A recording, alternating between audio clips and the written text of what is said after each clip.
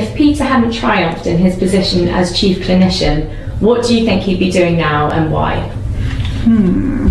I would say after his stand up to cancer performance a few years ago, he would have to be a stand up comedian. He might well have been an actor in a different life, and if he was, who might he have been?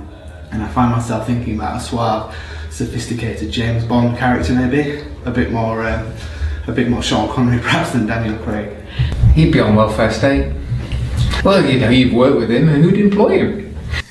Um, I think Peter rather fancies himself as um, the next James Bond, so I think Peter would probably be an actor, but he'd probably swap his martini for a Dubonnet.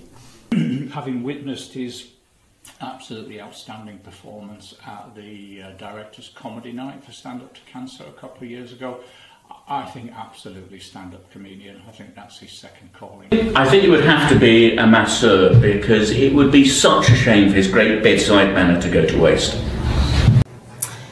He'd be a dancer, of course. I haven't seen the footage myself, but I've heard lots about the tutu, the footlights, a natural calling. If Peter became Prime Minister tomorrow, what do you think the first law that he would pass would be?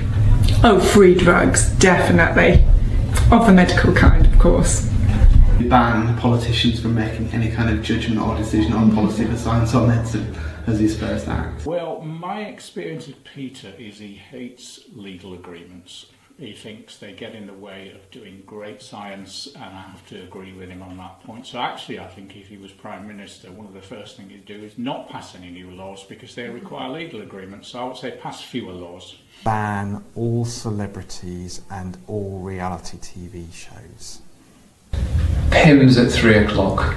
Knowing his favourite tipple, I think he'd probably have to abolish the tax on Dubonnet.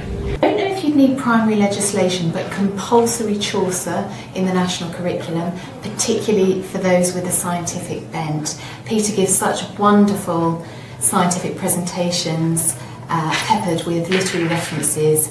We need the next generation of scientists to be doing the same. Peter could have dinner with anyone, alive or dead. Who do you think it would be?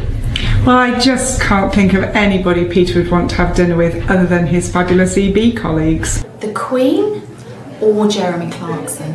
The Queen to carry on the conversation after the presentation of Peter's CBE.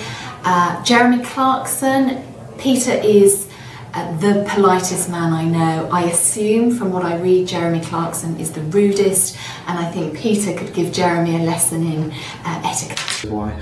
Um, I think he could probably have a really good evening with Jeremy Hunt because it would give him lots of opportunities to uh, basically tell him what's wrong with the NHS and what's wrong with our system in the UK and maybe try and sort a few things out. I don't think it'd be a fun evening, but I think it would be really interesting. I'd love to be a fly on the wall.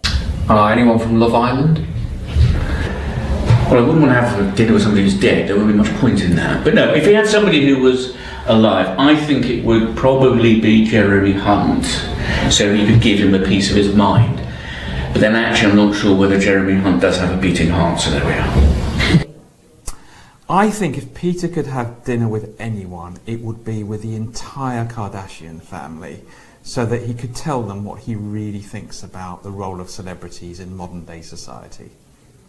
Peter, uh, just going to miss you. You are charming, great sense of humour, caring, a really very, very modest person, and you are so helpful.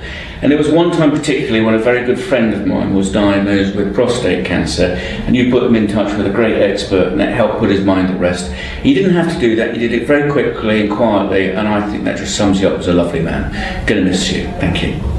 Peter, it's been a real pleasure to work alongside you over the last few years. I've appreciated your insights, your guidance, and your support, um, and I wish you all the best in your new role.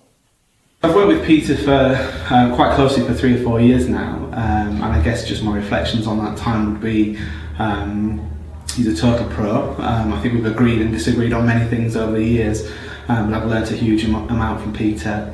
I very much enjoyed working with him, um, and I guess I'd just like to finish by saying thank you very much for all his hard work and his contributions to CRUK. We wish him luck in his new role. Peter, thank you so much for your support over the last few years from myself, from the team, from our supporters. You've been an absolutely brilliant champion of our fundraising, particularly with the Catalyst Club, and you've only exploded twice in EB at my presentations, which I gather is a really good hit rate. You've been a great help and font of knowledge for our supporters, most recently with Margaret and Tony, who really appreciated your help. You'll be much missed by us all, but luckily we know where you are, so you'll be hearing from us very soon. It's been such a pleasure working with Peter, the whole of P&I, uh, particularly the press and comms teams have Peter on speed dial. What on earth are we going to do without you? Um, thanks for all you've done for us and good luck.